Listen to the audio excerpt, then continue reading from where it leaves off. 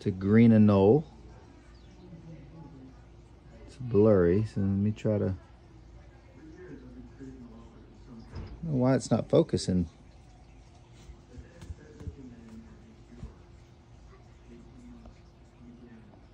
Huh.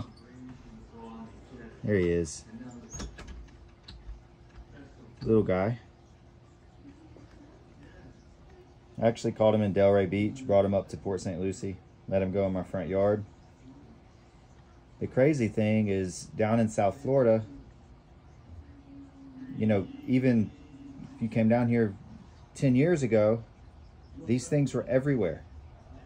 But now we have the brown anoles, we have the agamas, the African agamas, we have the curly tail lizard, the Cuban night anole, uh, the iguanas, all these invasive species. And I read that these other ones, they don't eat these uh, green anoles, all the ones I just named, uh, mentioned.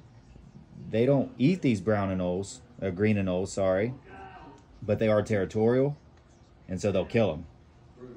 Um, especially the agamas. Big orange and blue agamas are, are the males, and the, the females are brown. But those male agamas are extremely territorial, and what they'll do is chase these things down, chase them off the, you know, whatever territory they're on, whatever uh, environment they're living in, and if if they can, they'll catch them and they'll kill them. And so that would largely explain the decrease in population of these suckers. Camera, this is the new iPhone 14, but this camera is like, oh, well, he's gone anyway. He's gone.